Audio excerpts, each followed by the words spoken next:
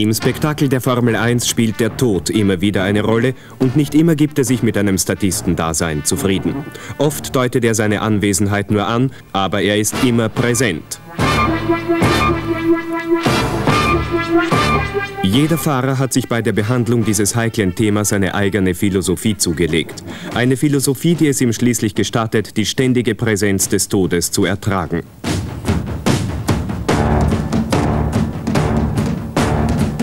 Noch vor Beginn des gestrigen Rennens wurde den Zehntausenden Zuschauern auf dem Österreichring anschaulich demonstriert, wie gefährlich dieser Sport sein kann. Der Amerikaner Mark Bonajo verlor im letzten Training in einer Rechtskurve die Herrschaft über seinen Boliden und raste in die Leitschienen. Dabei verletzte er sich und zwei Streckenposten schwer.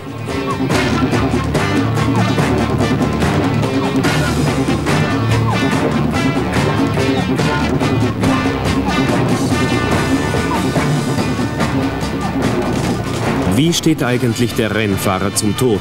Und wie reagiert er in den schrecklichen Sekundenbruchteilen eines Unfalls, wo er dem Tod ins Auge blicken muss? Was spielt sich da im Menschen ab? Ja, es ist relativ wenig, muss ich sagen, zu meinem eigenen Erstaunen. Denn im Moment des Unfalls, wenn man also merkt, man verliert den Wagen aus der Hand, dann versucht man noch in dem Moment das Beste zu machen. Und es kommt natürlich auch auf die Zeit, sagen mal, auf den Zeitraum an, in dem sich das Ganze abspielt. Wenn man sehr viel Zeit hat, bis man irgendwo gegenknallt, dann denkt man sicherlich mehr als in so wenigen Bruchteilen von Sekunden. Gedanken an den Aber Tod sind Luxus nein, in solchen Situationen. Genau, man hat den überhaupt nicht. Man also in dem Moment denkt man wirklich nur einzig und allein daran, wie komme ich aus dieser Situation am besten raus oder wie. Das ist ein reiner Instinkt. Ich glaube, das ist eine reine Reflexbewegung, die sich da in dem Moment irgendwie entwickelt. Und man tut irgendetwas, was man hinterher gar nicht mehr richtig genau sagen kann. Ja, die Aufhängung meines March war gebrochen und das Auto schießt nach links auf die linke Fahrbahnseite zu, wo keine Fangzone war, sondern nur eine Doppelleitplanke mit einer Holzwand. Und ich habe mich schon sehr seelisch auf den Anfall vorbereitet. Ich gedacht, das ist also wirklich aus und vorbei und jetzt ist eben der Moment gekommen und wie durch ein Wunder, es war das wirklich ein echtes Wunder, ist das Auto einen Meter vor der Leitplanke, weiß nicht wieso, nach rechts abgewichen und dort in die Wiese, wo 500 Meter Platz waren. Und dann habe ich nach acht, neun Drehern im feuchten Gras, bin ich dann zum Stehen gekommen, bin ausgestiegen und habe erstmal ganz weiche Knie gehabt und schwindelig einmal vor dem Drehen, habe mir eigentlich überlegt, jetzt wäre es wirklich bald so weit gewesen, dass Schluss gewesen wäre. Und ich habe wirklich gedacht, Menschenskinder, hat es überhaupt einen Sinn, das überhaupt zu machen? Gell? Ja, und hat seinen.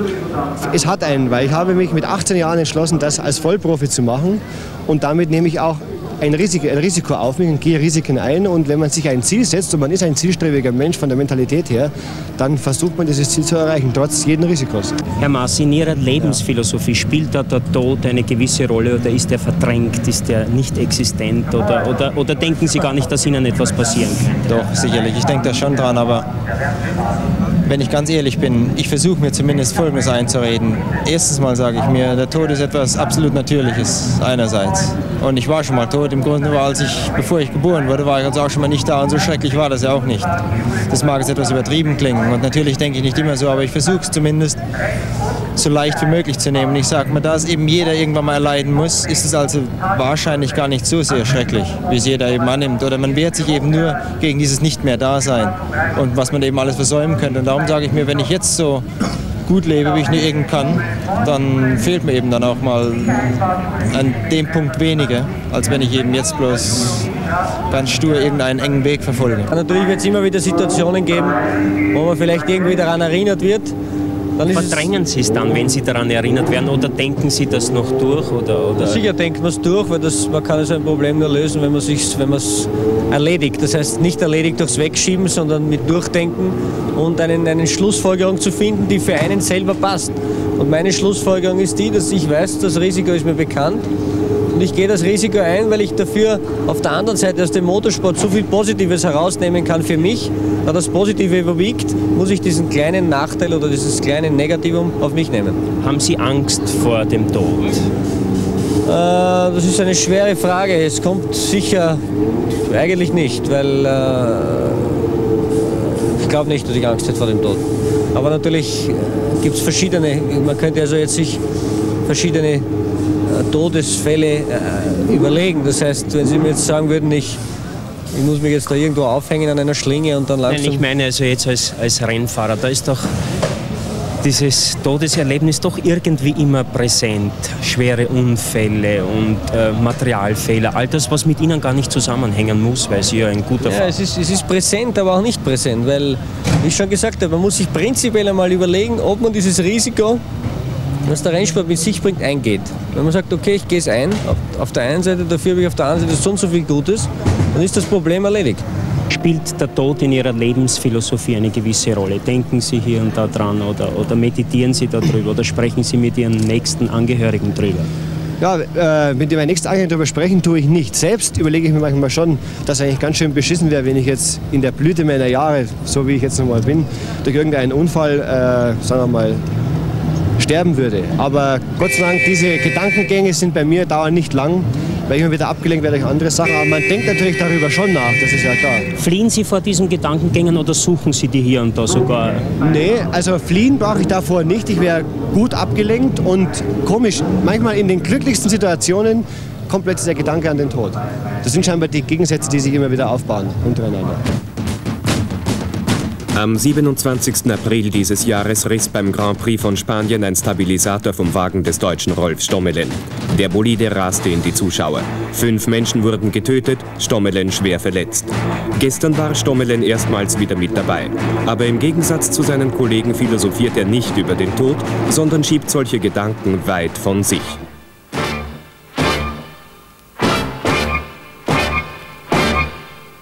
Also ich habe das äh, Gefühl, wenn ich Rennen fahre, dass ich nicht den Tod vor Augen habe, sonst würde ich eben nicht Rennen fahren. Und ich sehe die Rennerei nicht so gefährlich an, wie sie immer gemacht wird. Und zum anderen ist es so, dass man, wenn man lebt, äh, äh, sich aussetzt und äh, äh, ohne Aussetzen sich nicht leben kann. Und äh, es ist auch meiner Ansicht nach nicht entscheidend, eine andere Sache, das hat mit dem Rennen nichts zu tun, dass man eben äh, in der Kürze der Zeit, wo man lebt, vielleicht intensiver lebt, als wenn man sich äh, äh sein Leben lang zu Hause ins Bett legt oder in den Garten legt. Und äh, ich glaube, da, da habe also ich wenigstens nichts davon. Und die andere Sache ist, dass man eben auch verunglücken kann beim Skifahren, beim äh, Bergsteigen, Segeln oder vielleicht sogar auf der Autobahn. Und den Zwischenfall von Barcelona, den haben Sie vergessen, damit haben Sie abgeschlossen oder Das- beschäftigt das? Nein, das ist da? abgeschlossen, ist Vergangenheit. Äh, allgemein spreche ich gar nicht mehr darüber. Herr Stuck, ein berühmter Kollege von Ihnen, er sagt, man soll seinen Namen nicht sagen, hat nach dem schweren Unfall in Barcelona gesagt, na, dieser Unfall hat den Veranstaltern in Monaco mindestens 20.000 Zuschauer mehr gebracht. Das ist also ein Bewusstsein, dass viele Leute auf so etwas warten. Bedrückt Sie dieses Bewusstsein? Nein, keineswegs, weil ich fahre nicht für die Leute, ich fahre für mich und fahre für mein Team. Und dass es nur einmal ganz klar ist, dass ein gewisser Prozentsatz der Zuschauer, die zu Rennstrecken kommen, dass die blutrünstig sind, das ist normal nicht zu verändern. Genauso gehen ein gewisser Prozentsatz von Zuschauern zu Stierkämpfen oder sonst irgendwelchen oder Boxen, weil sie eben einfach damit äh, Aggressionen, die sie aufgebaut haben, abreagieren können. Der Grad zwischen reiner Sensationslust und fanatischer Verehrung ist relativ schmal.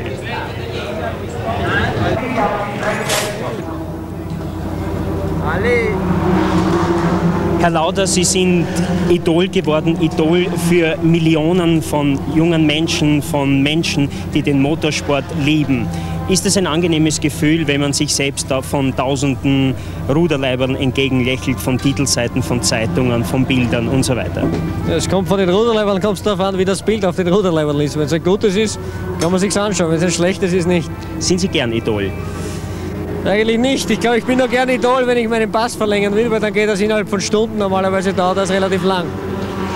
Warum glauben Sie, sind Sie eigentlich Idol? Nur weil Sie sehr schnell fahren können, weil Sie sehr wiff sind, weil Sie gute Fernsehinterviews geben, weil Sie sympathisch sind oder alles zusammen?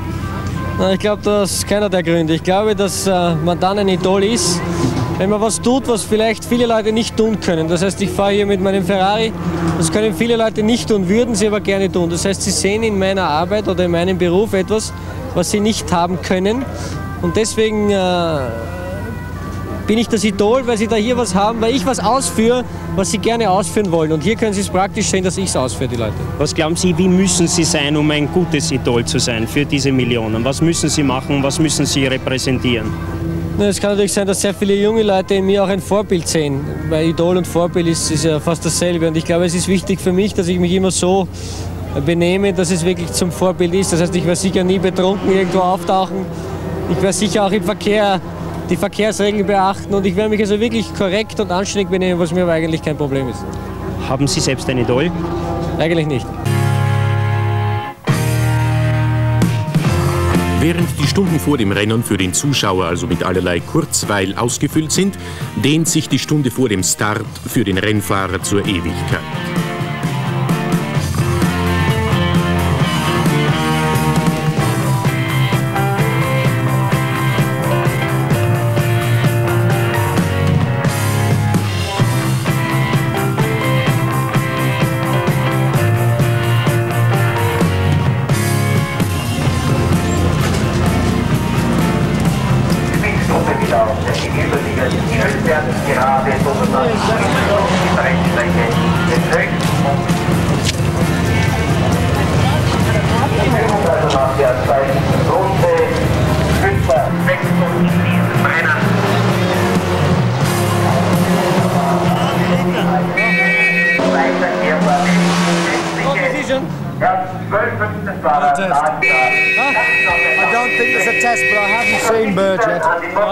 I think there's no test, but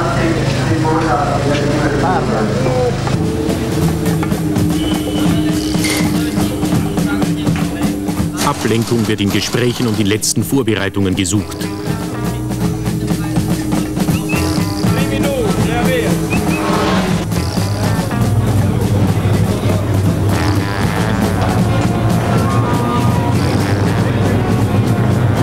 Eh, come tu, sì. Partito con tre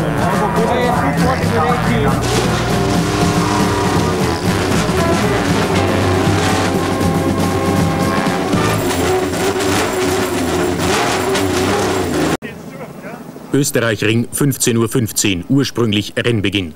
Vom Nordwesten her ziehen schwere Regenwolken auf. Unter den Verantwortlichen und Fahrern, die sich bereits am Vorstart befinden, heftige Diskussionen, Regenreifen oder nicht. Dry tires, uh, whatever decision we want to make. Sie sagen, es ist ein Regen. Anna, Ja, ja, minute, one minute. ja, ja. also, Sie müssen das denken, es ist ein, Re ein Regenrennen und dann ist alle weitere Verantwortung äh, bei den Teams. Und das muss man also bekannt geben. Okay. Would you please ask them to announce this on the loudspeaker Ja. in English to all the teams? Uh, ja, bitte, das muss man laut sprechen. Der Tony Marsh. Ja. Äh, ja, okay. okay? Suggestion they start the race at 4 o'clock and declare it a wet race. So we can decide whether to run on wet or dry tires. And it takes it away from the clock, of course, to have the problem. Hat schon öfter geregnet bei großen Motorsportveranstaltungen in ZW. Nein, eigentlich, ich kann sagen, dass es das erste Mal seit 20 Jahren ist. Und äh, was ist, wenn das Rennen abgesagt werden müsste? Gibt es da Vorsehungen, Vorkehrungen? Ich glaube, das müssen wir nicht. Wir werden den Bewerb auf alle Fälle durchführen, ob es regnet oder wieder schön wird, weil zum Reifenwechseln wird es sowieso kommen. Im Porsche der Sicherheitsstaffel kommt Danny Halm, Chef der Grand Prix Drivers Association, von einer Streckenbesichtigung zurück. But here it is quite good, the rain. Ja, und wenn wir gleich mit Regenrafen fahren? Ja, geht nichts anderes. Ja, ja, und dann müssen wir sehr durchfahren mit Regenrafen. Geht nichts anderes mit Regen. Aber gut ist das mit dem Öl gewesen. Nein.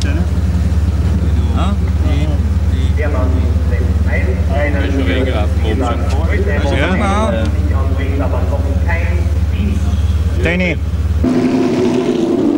15.30 Uhr, die Entscheidung ist gefallen. Die Fahrer begeben sich zum Reifenwechsel an die Boxen.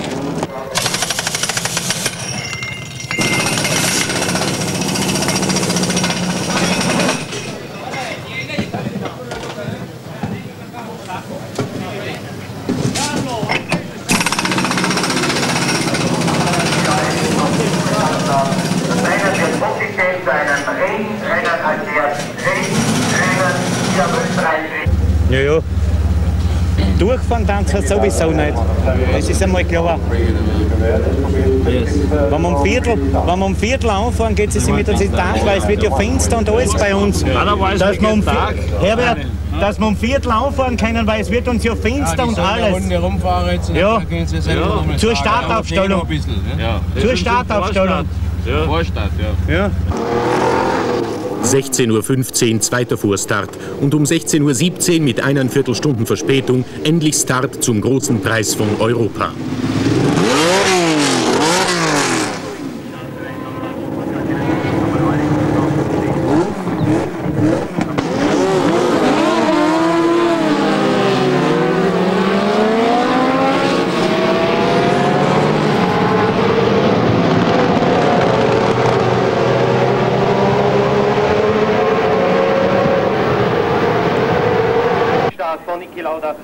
Lauda kommt am besten vom Start weg.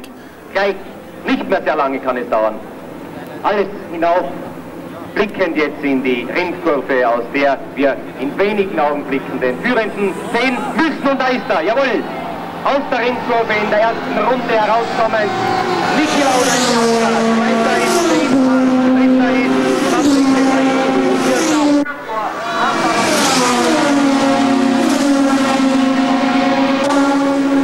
Kaum im Rennen muss Co-Favorit Carlos Pace wieder an die Box zurück.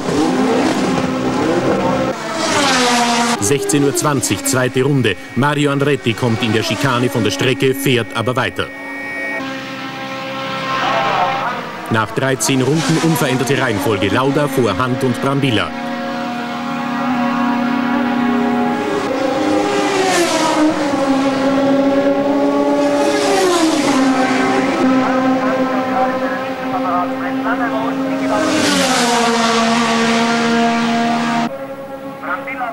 16.55 Uhr, 19. Runde. Brambilla geht vor Hand und Lauda in Führung.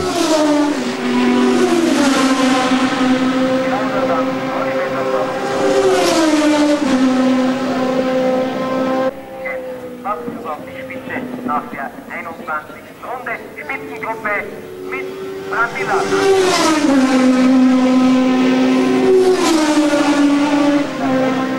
Wenig später die ersten Diskussionen über einen möglichen Abbruch des Rennens.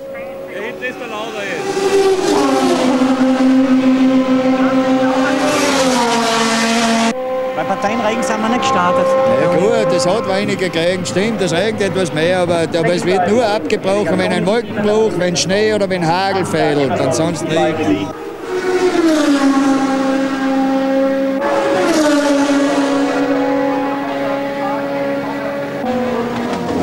17.05 Uhr, 25. Runde. Lauda ist auf den fünften Platz zurückgefallen. Ferrari-Chef Montezemolo drängt auf den Rennabbruch. Cosa Montezemolo? Se lui non sospende due giri la corsa, io chiamo Lauda e Regazzoni nel box perché io ho la televisione, la.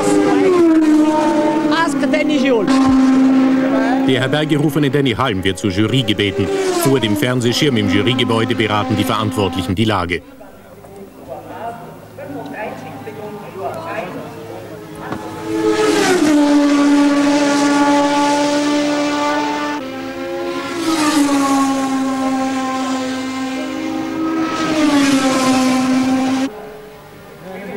Um 17.10 Uhr verlässt Danny Halm die Jury, sprintet zu Bernie Ecclestone, der grauen Eminenz unter den Rennstallbesitzern.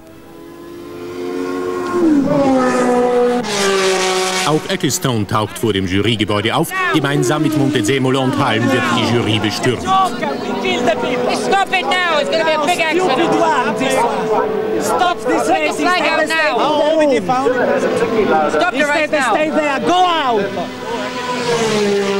Um 17.13 Uhr unterbricht Rennleiter Wieser das Rennen. Idiot. 22 Minuten später wird das Rennen endgültig abgebrochen.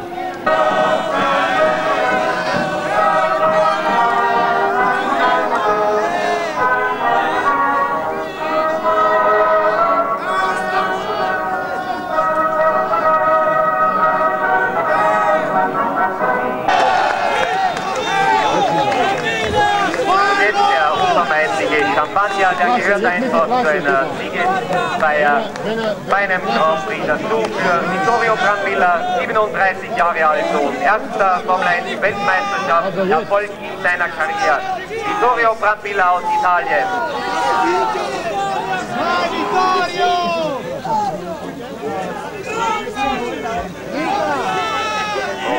Hören die Begeisterung des italienischen Publikums, das natürlich große, große Freude zeigt über den Sieg von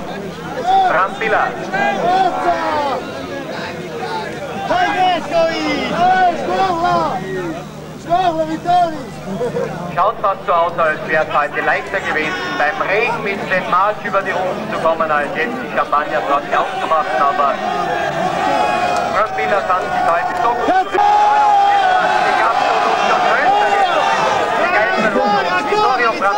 Ancora! Ancora! Brescia!